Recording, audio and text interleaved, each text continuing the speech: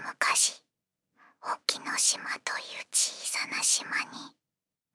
一匹の白ウサギが住んでいました。ウサギは毎日浜辺に出ては海の向こうに見える大きな陸地に行くたいと思っていましたある日のこと良いことを思いついた白ウサギは海のサメに言いましたサメくん僕の仲間と君の仲間とどちらが多いか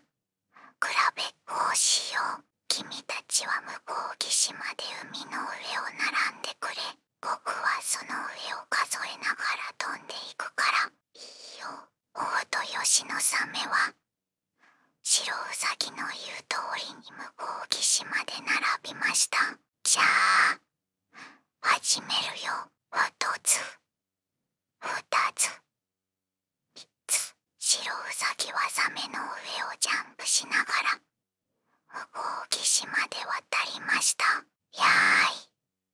騙されたな。比べっこなんて嘘だよ。大と吉野サメくん。僕はこっちに渡りたかっただけなのさ。それを聞いたサメは怒ってウサギを捕まえると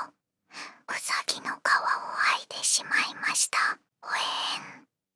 痛いよ皮を剥がされたウサギが泣いていると若い神様たちがそこを通りかかり海水を浴びて太陽と風に当たるといいよと言いましたウサギが教えられた通り海水を浴びるとますます痛くなりました。そして太陽と風に当てるとさらにもっと痛くなりました。そこを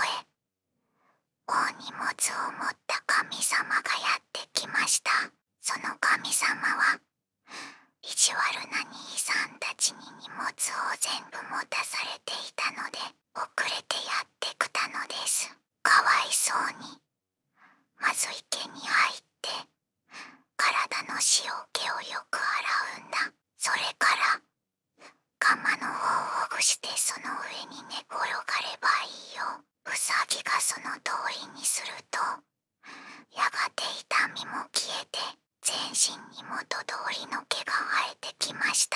この心優